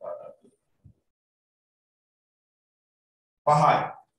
ඉතුරුයි පහක්. ඒක දාන්නේ 8න් 5යි කියලා. විෂම භාග මිශ්‍ර භාග සංඛ්‍යා ගන්න දන්නවනේ. එක්ක 125 බෙදීම 8 නිවැරදිම උත්තරේ තමයි 15යි 8න් 5. 15යි 8න් 5. එතකොට අර මං කියෝ 10ම හරි කියන දරුවා ඒක මට පැහැදිලි කරලම දාලා තියෙනවා නේද? මේ 126 කියලා දාලා තියෙන ටයිප් කරලා බෑ කියන පොඩි අරද තියෙනවා. 125 බෙදීමට කියලා එන්න ඕනේ එතන. යනු 15යි 8න් 5 මේ උත්තරය හරියට දාලා තියෙනවා මේක නම් පොඩ්ඩක් 6 වෙනුවට 5 වෙනුවට 6 වෙදිලා තියෙනවා. ටයිප් කරන එක අවුලක් වෙන්නේ නැතිනේ අවුඩේගේ හරියට ටයිප් කළා අය දෙවනි පාර තමයි 126ක් වැරදිලා ටයිප් වෙලා තියෙන්නේ. රයිට් හරි හොඳයි. ඔන්න පුතේ ওই විදිහට තමයි විහිදුවා ලියලා අගේ හෙව්වේ නේද? රයිට් මම හිතනවා බහුතරයක් අයගේ වැරදුනා. මම නම් කැමති වරදිනවට විභාගෙදී හරියන්න පන්තියේදී වැරදුනාට කමක් නැහැ. වැරදුනාම තමයි ඔයාලා අවධානය බලන්නේ ආ, මොකක්ද මට කියලා වෙලා තියෙන තැන කියලා නේද? ඈ. හරිද? එහෙනම් දැන් ටට්ටක් ගාලා ගණන් ටිකක් අ, 10 නැවතු 11 ගණන් හතරක් විතර දෙන්නත් තව හරියටම කරන්න. 12 ඉක්මනටම දාන්නේ කවුද බලමු? 13 ගණන් තුනක් දෙන්න ඕන. ගොඩක් දෙන්න. ඍණ දෙකේ පස්වෙනි බලය ගුණ කිරීම තුනේ දෙවෙනි බලය. ඍණ එකේ අටවෙනි බලය ගුණ කිරීම දෙකේ තුන ගුණ කිරීම ඍණ දෙකේ දෙක. ඍණ තුනේ හතරවෙනි බලය ගුණ කිරීම දෙකේ තුන. පොඩි ගණන් තුනක්. කොට ගාලා උත්තරේ දාන්න. උත්තර තුනම එකට දාන්න.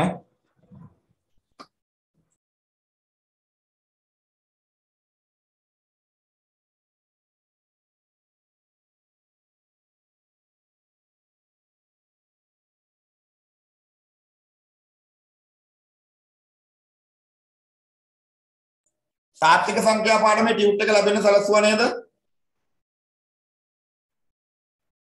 ඔව් සර් ඒව කරාද?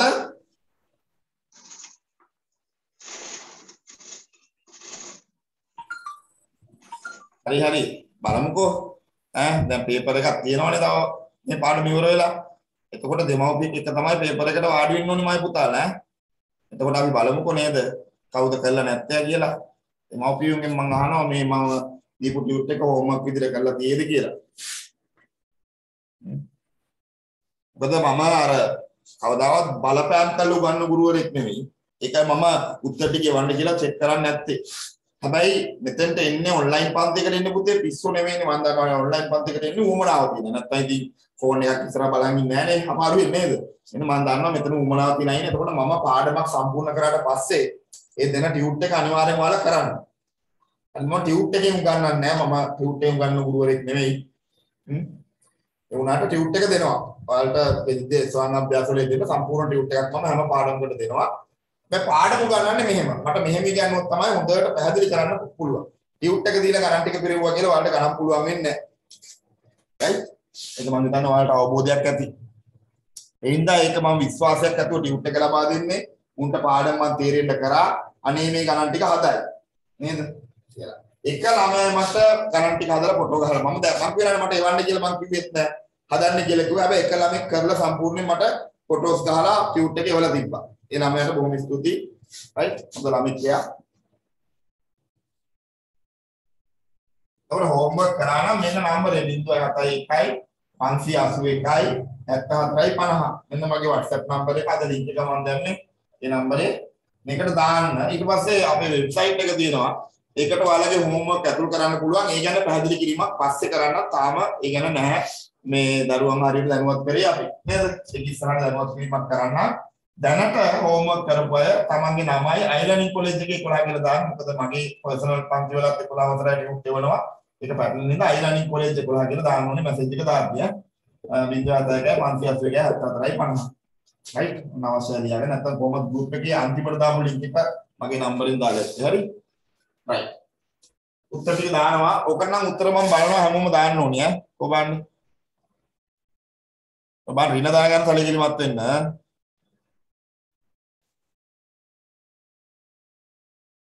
හරි විශ්වාස තමයි ඉස්සෙල්ලම දාලා තියෙන්නේ බලමු හරිද කියලා. ගොඩක් අය දානවා දැන් නම් උත්තර. ඊට පස්සේ බිමල්ක හරි බිමල්ක හරි දාලා තියෙනවා.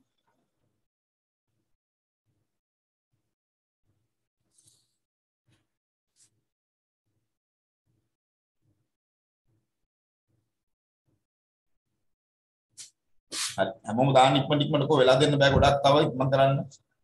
ගුවන් දාලා තිනවා.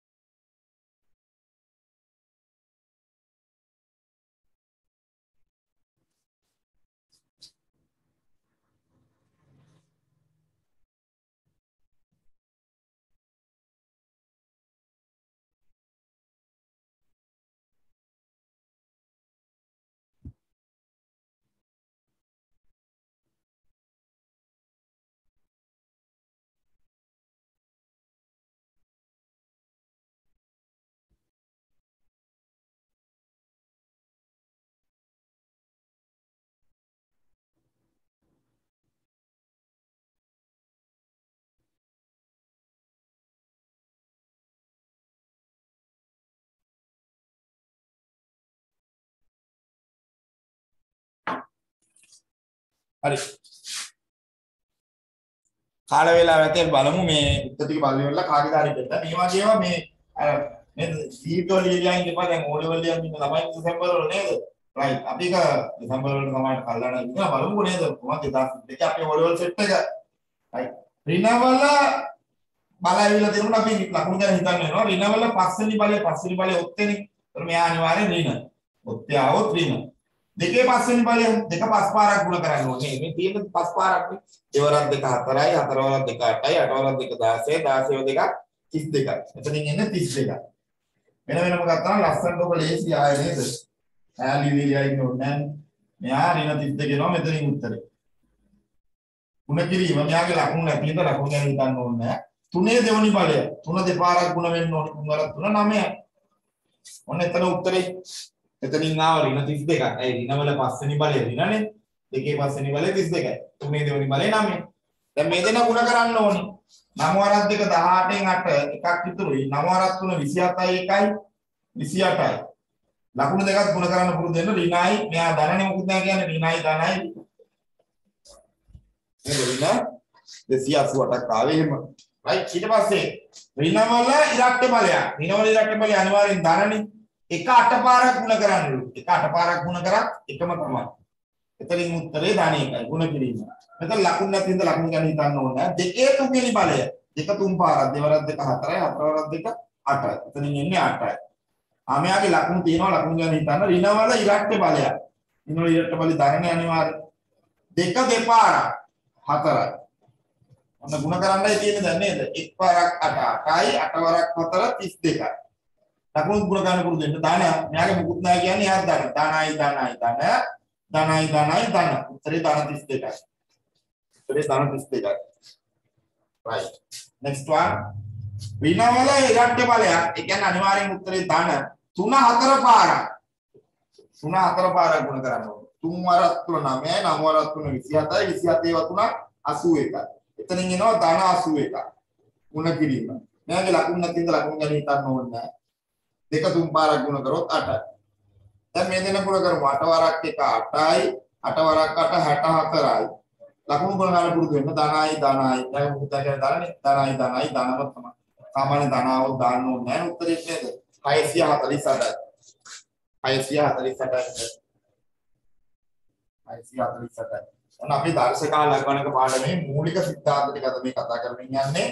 රයිට් අපි මේක දවස් 3ක් වගේ යනකොට ඉවර කරගන්න උත්සාහ කරන්න ඕනි. රයිට් ලබන සතියේ ලඝු පොතක් එහෙම ළඟ තියාගන්න අවශ්‍ය වුණා ගමන් ගන්න. බලමු හරියට උත්තර තුන ඉස්සෙල්ලම දාලා දෙන්නේ කවුද කියලා. වැඩි වෙලා ගන්න නැතුව 32යි 648යි වින 280. ඉස්සෙල්ලම දාලා තියෙන්නේ විවිශා සිත්මි කියන දුව ඊට පස්සේ කවුද එයාගේ වැරදි දෙවෙනි එක්කෙනා වැරදි තුන්වෙනි එක්කෙනාගේ අඩුපාඩු තියෙනවා. හතරවෙනි එක්කෙනා හරි නුරාන් නුරාන් ඊළඟට හරියට දාලා තියෙනවා. ඊළඟ එක්කෙනාගේ අඩුපාඩු තියෙනවා. ඊළඟ එක්කෙනාගේ අඩුපාඩු තියෙනවා. ඊළඟ එක්කෙනාගේ හතර උත්තරය හරි. තුන්වෙනියට හරියට තියෙන්නේ තිමානිගේ. තුන්වෙනියට උත්තරය හරි තිමානිගේ. අනිත් අයගේ අඩුපාඩු ගොඩයි. හතරවෙනියට සෙනෙයගේ උත්තරය හරි. සර් පළවෙනි ගාන අහපෝ කියලා දෙන්නලු. හරි අනිවාර්යයෙන් පළවෙනි ගාන අහපෝ කියලා දෙන්න. හරිද? මේ දෙන්නගේ උත්තර දෙක වෙන වෙනම දාගමු. හරිද? දැන් ඍණ දෙකේ පස්වෙනි බලයනේ ඍණ දෙකේ පස්වෙනි බලය කියන්නේ පුතේ ඍණවල පස්වෙනි බලය ඉස්සෙල්ලා කියනකො ඍණවල ඔත්තේ බලයක්. ඍණවලට ඔත්තේ බලයක් ආවොත් උත්තරේ ඍණ. ඉරට්ටේ බලයක් ආවොත් ධන. දැන් මෙයාගේ ඔත්තේ බලයක්නේ තියෙන්නේ. දර්ශකයේ ඔත්තේ. එහෙනම් ඍණවල ඔත්තේ කියන්නේ ඍණ. දෙක පස් පාරක්. දෙක පස් පාරක්. දෙවරක් දෙක හතරයි හතරවරක් දෙක අටයි අටවරක් දෙක 16 16 දෙක 32. එතනින් එනවා 32. ඍණ 32යි එතන උත්තරේ. ಗುಣ කිරීම මෙයාගේ ලකුණු නැති ඉඳ ලකුණු ගැන හිතන්නේ මම තුනේ දෙවෙනි බලය දෙලක් දානවා තුනේ දෙවෙනි බලය කියන්නේ තුන තුන 9. දැන් මේ දෙන ಗುಣ කරන්න තියෙන්නේ asinia නෙවෙලු සෙනාය ආ උනේ ඒ අකුරක් තියෙන්නේ හරියට අන්නේම සිංහලෙන් ගන්නකොට නම් එතකොට මම ඈත ඉඳන් බලන්නේ ඔයාලගේ නම් ටික කියවන ළඟට ගිහලා බලන්න ඕනේ. හරි කරදර. සිංහලෙන් තිබුණාට අක් කරදර. නම වරක් දෙක 18න් 8 එකක් ඉතුරුයි නම වරක් තුන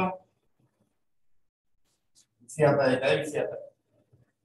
288 වෙයිමයි ඍණයි ධනයි මෙතන ගුණ කරන්න. මෙයාගේ පුත් නැගෙන තරනේ ඍණයි ධනයි ඍණ. අන්තිම උත්තර ගුණ කරද්දී අනිවාර්යෙන් ලකුණු ගුණ කරන්න. ඒක එන්නේ විදිහට පුතේ නේද? right. ඔන්න අපි මූලික සිද්ධාන්තවල ගොඩක් දේවල් කතා කරා. අපි තව වෙලාව තියෙනවා අපිට අද ඇති වෙන්න. ඊළඟ ටිකක් බලමු. හරි අඩුපාඩු හදාගන්න. තප්පර 30ක් දෙන්න. තප්පර 30ක්. වතුර එකක් බීගෙනකම් වෙලාව දෙනවා.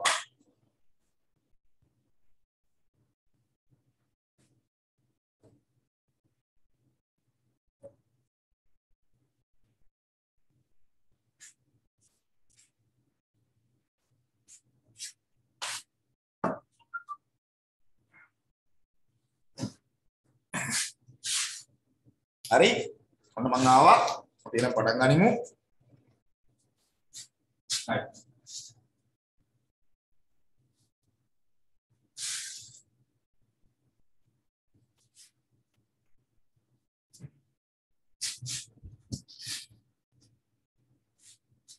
හරිද හොඳයි අපි දන්නවා අකිය සොයන්නත් දන්නවා දැන් එක කරා අභ්‍යාස තුනක් කරා හොඳට වෙලා අරගෙන කරේ. ඕවා ආය ආය බලන්න ආය ඊළඟ සතිය එනකොට නිකන් එන්න එපා ඔදියා බලන්නවත් නැතුව. නේද? අනිවාර්යෙන් ওই ටික ආය බලන්න. හොඳේ? right ඊළඟට හතරවෙනි අභ්‍යාසයට යන්න හතරවෙනි අභ්‍යාසයට. පහත සංඛ්‍යා. දී ඇති පාදවල පහත සංඛ්‍යා දී ඇති පාදවල බල ලෙස ලියන්න.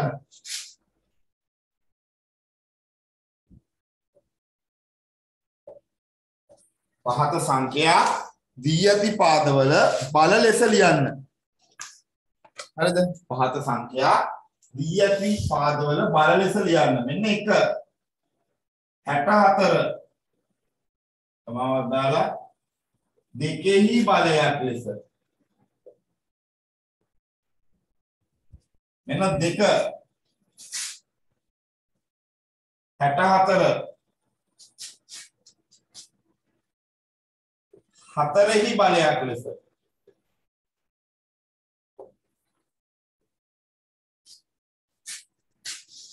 මෙන්න 3 64 අටෙහි බලයක් ලෙස. එන්න හතර. 72 දෙකෙහි සහ තුනෙහි බල ලෙස. Right? මොකද ඔයාලට දීලා තියෙන අභ්‍යාසය? හතරවෙනි එක. පහත සංඛ්‍යා දී ඇති පාදවල බල ලෙස ලියන්න. පහත සංඛ්‍යා දී ඇති පාදවල බල ලෙස. ඒක දීලා තියෙනවා පාදමේ. දෙකෙහි පාදේ කියලා දීලා තියෙන්නේ මේ පාදේ කියන වචන නැති වුණාට දෙකෙහි බලයක් ලෙස කියන එකෙන් අදහස් වෙන්නේ යටට දෙක දාන්න කියන එක දෙකෙහි බලයක් මේ මේ දෙකෙහි තුන්වෙනි බලය අන්න දෙකෙහි බලයක් පාදය ගැන තමයි දෙකෙහි බලයක් කිව්වම දෙක පාදය කරන්න කියලා කියන්නේ නේද? ඔයාලා දැන් පාදේ දර්ශකේ ගන්නවනේ ඉතින් දෙකේ තුන්වෙනි බලය කිව්වම මෙයා තමයි පාදය මෙයා තමයි දර්ශකය. ඒතර මෙයා ලියලා තියෙන දෙකෙහි බලයක් විදිහට තුනේහි බලයක් විදිහට මේ ලියලා තියෙන්නේ. දෙකෙහි බලයක් විදිහට ලියලා තියෙන්නේ. දෙකෙහි තුන්වෙනි බලය කියන්නේ මේක සත්‍ය කරන්නේ. දෙකෙහි බලයක් විදිහට. එහෙනම් 64 දෙකෙහි බලයක් ලෙස ලියන්න කියන එකේ තේරුම 64 දෙකේ පාදයෙන් ලියන්න කියන එක කියන්නේ නේද? right. try එකක් දෙන්න පොඩි වෙලාවක් දෙන්නම් ඊට පස්සේ මම කියලා දෙන්නම්. හරිද? මොකද මම මේ තාම ඉන්නේ 11 වසරේ පන්තියේ නෙමෙයි. තාම ඔයාලට මේ කරමින් යන්නේ 6 7 8 කියන පන්ති ටික. 6 7 8 කියන පන්ති ටික මේ තාම කරන්නේ. ඒකයි මම අභ්‍යාස වලින් මතක් කරමින් යන්නේ. මම 11 වසර කරන්නේ පුතේ මුල ඉඳන් ඔක්කොමත් එක්ක කොච්චර වෙලා ගියත් කොච්චර දක්ෂයෝ හිටියත් කොච්චර අදක්ෂයෝ හිටියත් මම කරන්නේ මේ ක්‍රමයට. මොකද මම දන්නවා කොච්චර දක්ෂයෙක් වුණත් පොඩි පොඩි තැන් අමතක වෙලා තියෙන්න පුළුවන්. ඒක බලපාන ඕලෙවල් වලට. ඒකයි මේ සියලුම දේවල් උගන්වමින් යන්නේ. ඒ අවස්ථාව මග අරගන්න එපා. හැමදාම සහභාගී වෙන්න එක දවසක්වත් ඇබ්සන්ට් වෙන්නේ නැතුව. හරි. මේකට නම් උත්තරේ අමාරු නෑ. හරිද මේක හොයන්න ලොකුට දඟලන්න ඕනේ 64 ගන්න. සමාන ලකුණ දාන්න. දෙකේ පාදෙන් යහන්නේ. දෙකේව කියන්නේ කියලා හිතින් ගුණ කරන්නකො දෙවරක් දෙක හතරයි හතර වරක් දෙක අටයි අට වරක් දෙක 16යි 16ව දෙකක් 32යි 32ව දෙකක් 64යි. දෙකේව කියක් කියලා දෙක දෙක තුන හතර පහ හය. එහෙනම් දෙකේ හය වෙනි බලය කියලා දාන්න පුළුවන්. දෙකේ පාදේ ලියන්නේ කොහොමද දෙකේදී ගුණ කරගෙන යනවා 64 කීයද හම්බෙන්නේ කියන්නේ. මේ වගේම අර ලියලියා කරන්න ඕනේ. ඉතින් හදාගන්න පුළුවන් දේවල්. දෙකේ 6. හරිද? ඊට පස්සේ 64 හතරේ බලයක් ලෙස. ආ ඒ පාර 64 ලියන්නු හතරේ පාදේ. එහෙනම් හතරේව ගුණ කරන්න. හතර වරක් හතර කීයද? 16යි. 16ව හතරක් කීයද? 16ව හතරක් 16ව දෙකක් 32යි හතරක් 64. 64 එනවා. හතරේව තුනකින් තමයි 64 එන්නේ. එහෙනම් හතරේ පාදෙන් ලිව්වොත් හතරේ තුන්වෙනි බලය. හතරේ තුන්වෙනි බලය. ඔන්න එකක් හරි. නේද? ඊට පස්සේ 64 මායේ දින අටේ පාදෙන්. අටේව ගුණ කරමු එහෙනම් 8 වරක් 8 64යි. ආ එනවනේ අටේව දෙකයි. එහෙනම් අටේ දෙවනි බලය. මේ වගේ දේවල් කරන්න ලියලියා කරන්න ඕනේ අපිට හිතින් පුළුවන් ටක් ගාලා නේද? එතකොට එකම සංඛ්‍යාව ආකාර තුනකින් දෙකේ පාදයෙන් ලිව්වොත් 64 දෙකේ 6 වෙනි බලය. 64 හතරේ පාදයෙන් ලිව්වොත් හතරේ තුන්වෙනි බලය. 64 අටේ පාදයෙන් ලිව්වොත් අටේ දෙවෙනි බලය කියලා එනවා. ඊට පස්සේ 72 දෙකේ සහ තුනේ බල ලෙස. ආ ඒකේ පොඩි අවුලක් තියෙනවනේ. 72 දෙකේ නුල් ලියන්නලු තුනේ නුල් ලියන්නලු. ඕක දෙකේවයි තුනේවයි දෙකම තියෙන එක. එතකොට මම පුතේ ඕක ಗುಣ කර කර කරන්න ගියොත් එහෙම පැටලෙනවා. සහ වරදිනවා. අන්න මේ වගේ ගාණක් අපි හදලම හොයාගමු. කොහොමද හදන්නේ? ඔයා 72 ගන්නකො අරගෙන කෙටි බෙදීම දාන්න. දෙකෙන් සහ තුනෙන් යහලා තියෙන්නේ. ඉස්සෙල්ලම බලන්න මෙයා දෙකෙන් බෙදනවාද කියලා. ඔව් 72 දෙකෙන් බෙදන්න පුළුවන් නේ. දෙකෙන් බෙදලා දාන්නකො. දෙකෙන් බෙදලා දාන්න 72. 72ට දෙකේවා කීයද? 7ට දෙකේවා 3යි. දෙකේවා 3ක් 6යි කියන්නේ මෙතන 7න් එකක් ඉතුරු. ඒක මේ දෙකත් එක්ක අරගන්න. එතකොට 12යි කියලා ගන්න. එකයි අර ඉතුරු ඉච්ච එකයි මේ දෙකයි 12යි. 12ට දෙකේම 6යි. ආයත් දෙකෙන් පුළුවන් නම් ආයත් දෙකෙන් බෙදන්න. 36 දෙකෙන් බෙදන්න පුළුවන් නේ. මම දැන් බෙදන විදිහ කියන්නේ නැහැ දන්නවා නේද වල 18. 18ත් ආය දෙකෙන් පුළුවන් නම් ඒකත් දෙකෙන් බෙදන්න. පුළුවන් 18 දෙකෙන් බෙදුවොත් 9. 9ත් ආය දෙකෙන් පුළුවන් නම් බෙදන්න. නේද? දෙකෙන් බෙදෙන්නේ නැහනේ. දෙකෙන් බෙදෙන්නේ නැහැ. එහෙනම් 9 තුනෙන් බෙදන්න ඊළඟට. දෙකේ සහ තුනේ පදවලින් 9 තුනෙන් බෙදන්න. ආ 9ට තුනේවත් 3යි. ආය තුනක් තුනෙන් බෙදන්න තුනට තුනිය එකයි. ඔන්න ඕම් බෙදාගෙන යන්න. හරි මේ යට එක පෙන්නේ නැහැ කාලය අන්තිමට. එතකොට අන්න මේ තියෙන්නේ 72 මේ තියෙන්නේ 72 දෙකේවා 1 2 3යි. එහෙනම් දෙකේ තුන්වෙනි බලය ಗುಣ කිරීම තුනේවා 1 2යි. එහෙනම් තුනේ දෙවනි බලය ඕන්න 72 කියන්නේ දෙකේ දෙවනි බලය ගුණ කිරීම තුනේ දෙවනි බලය දෙකේ තුන්වෙනි බලය ගුණ කිරීම තුනේ දෙවනි බලය. දෙවනි ගාන කියා දෙන්න කියලා තියෙනවා. දෙවනි ගාන හරි. මේක මම කියලා දෙන්න 64 ගන්න හතරේ බලයක් නේ අහන්නේ. 64 හතරෙන් බෙදන්නකො 6ට 4 ඒවා 1යි 4 එකක් 4යිනේ කියන 6න් දෙකක් ඉතුරු. ඒ දෙකයි මේ 4යි 24 24ට 4 ඒවා 6යි 16 ආය 16ත් 4ෙන්ම බෙදන්න ඕනේ. 4 පාදෙන් යහන්නේ එහෙනම් 4ෙන්මයි බෙදන්නේ. 16ට 4 ඒවා තියෙන්නේ 4යි ඒකත් හතරෙන්ම බෙදන්න. හතරට හතරේ එකයි. කොහොම එක එනකම් බෙදන්න. හතරේව කීයක් දෙනවද? 3යි. එහෙනම් 64 කියන්නේ හතරේ තුන්වෙනි බලය. මේ විදිහටම කරන්න පුළුවන් මේක. ප්‍රශ්නයක් නෑ. මේකත් ඕනනම් එහෙමම පුළුවන්. 64 දෙකේ පාදින්නේ අහන්නේ. එහෙනම් මෙයා දෙකෙන් බෙදන්න. 64 දෙකට බෙදුවොත් 32යි. එයත් දෙකෙන් බෙදන්න 16යි. එයත් දෙකෙන් බෙදන්න 8යි. එයත් දෙකෙන් බෙදන්න 4යි. එයත් දෙකෙන් බෙදන්න 2යි එයත් දෙකෙන් බෙදන්න 1යි දෙකේව 1යි 2යි 3යි 4යි 5යි 6යි ඉන්නේ. එහෙනම් දෙකේ 6 වෙනි බලය. මේකත් එහෙමම පුළුවන් ඕන නම් 64 8 පාදෙන් නම් 8ෙන් බෙදන්න. 64ට 8 8යි ආය 8 පාදෙන් නම් ආය 8ෙන්මයි බෙදන්නේ. 8ට 8 1යි 8 ඒවා 2යි 8 දෙවෙනි බලය. නේද? මේක විතරක් 4ෙන් බෙදන්න. මේක දෙකෙන් බෙදන්න. මේක 8ෙන් බෙදන්න. මේක දෙකෙහි සහ තුනෙහි බල ලෙසකින් ඉඳලා දෙකෙන් බෙදන්න බැරි වෙනකොට තුනෙන් බෙදන්න.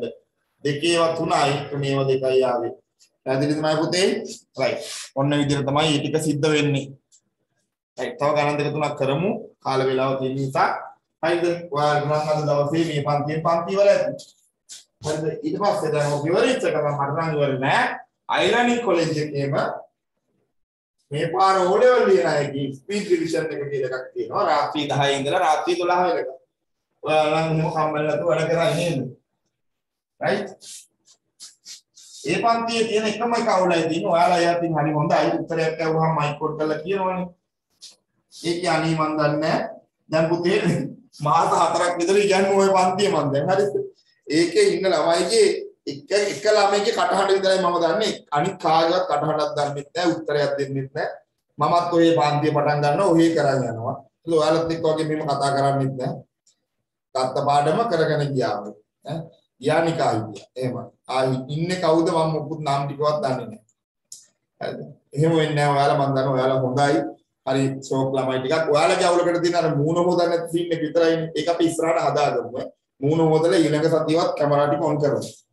Right? හරිද? දක්මදින්න කම්මල් නම් අඩු ගන්න නිකන් නේද? මූණ හරි හොදගෙන කැමරා ඔන් කරන්න ඈ. හරි. මෙන්න මේකත් කරන්න මම පුතාලා එහෙනම්. හරිද? කීයක් තිබුණේ හතරයි පස්වෙනි ගාන 1000 10 පාදයේ බලයක් ලෙස හයවෙනි එක 1000 පාද. ප්‍රථමක සාධක. පෑන ලියවෙන්නේ නැහැ වගේ අපි පෑනට ආහාර වේලක් දෙමු. right මේ හයවෙනි ගාන 1000 පාද. ප්‍රථමක සාධක ලෙස. මේ ගණන් දෙකයි. මොකද්ද? එකක් 1000 එකක් තමයි 1000 10 පාදයේ. 10 පාදයේ බලයක් ලෙස.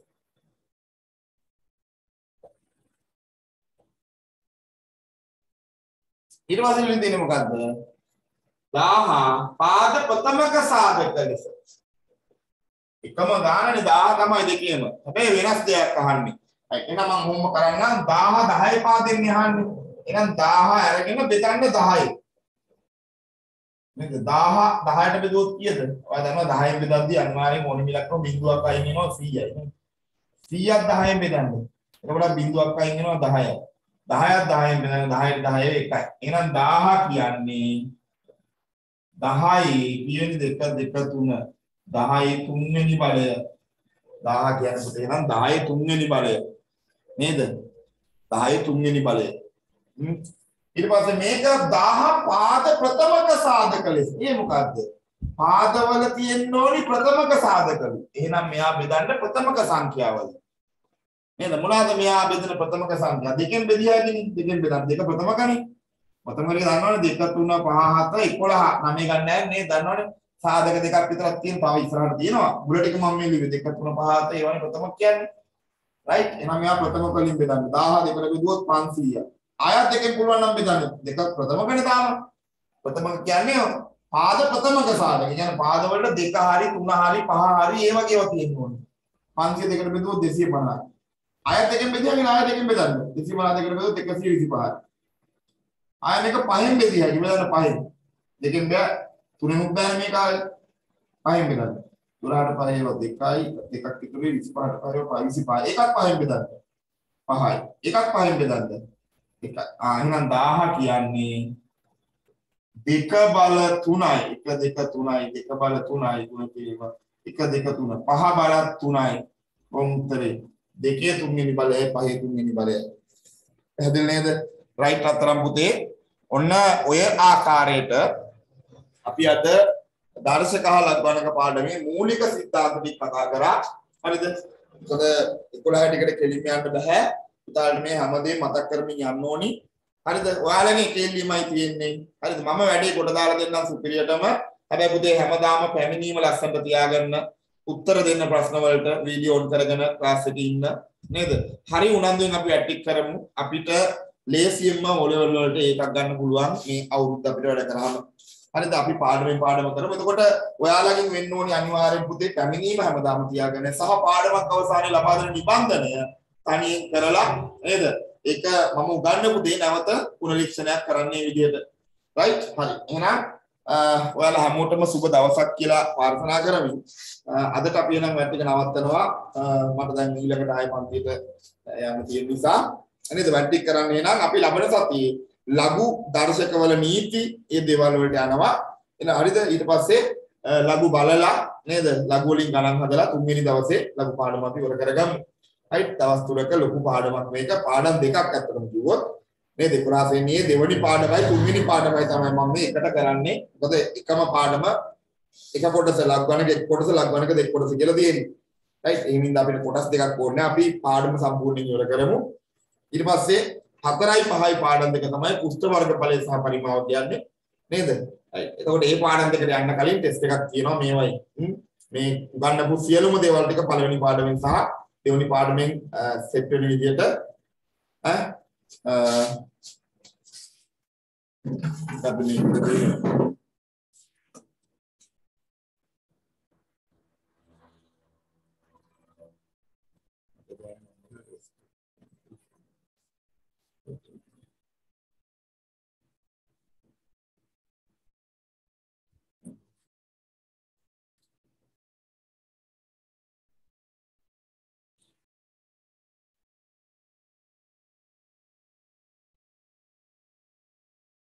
ලොකු ඉංග්‍රීසි වලින් උගම් දාලා තිනවා. මොකක්ද කියලා? නුරාන් මට ඒක පැහැදිලි කරලා දෙන්න. මොකක්ද දන්නේ හැල්ලක් කියලා තියෙනවා රයිට් හරි. එහෙනම් සියලුම දෙනාට සුබ රාත්‍රියක් සුබ අලුත් අවුරුද්දක් නේද? නේද? මේ අලුත් අවුරුද්දේවත් මූණ හොදන්න නැතුව පන්තියෙන් දෙපා මූණ හොදලා වීඩියෝ ටික ඔන් කරන්න. රයිට් හරි. එහෙනම් හැමෝටම good night ඈ bye. Good night, sir. Good night, sir. Good night, sir. night Good night, sir. එතකොට පුතේ ඒ වගේම මේ මැයි මාසේ O level වෙන සෙට් එක ගියාට පස්සේ අපි මේ පන්තිය පොඩ්ඩක් තව පැය ගන්න වැඩි කරලා කරමු හොඳේ. ඒ කියන්නේ අප්‍රේල් වලින් ඉවරයි නේ යාළගේ පන්තිය. දැන් රෑ තියෙනවා යාළගේ පන්තියක්. ඒක උරුණාන් පස්සේ අපි මේ පන්තිය තව ටිකක් රෑ වෙනකන් කරමු. ඉතින් ඒකට කොහොමත් ඔයාලා රෑ වෙනකන් කරන්න කියයි. ඇයි මැයි වෙනකොට O level වලට තව මාස 7යිනේ. ඈ. රයිට්. එහෙනම් සුබ රාත්‍රියක් දීලා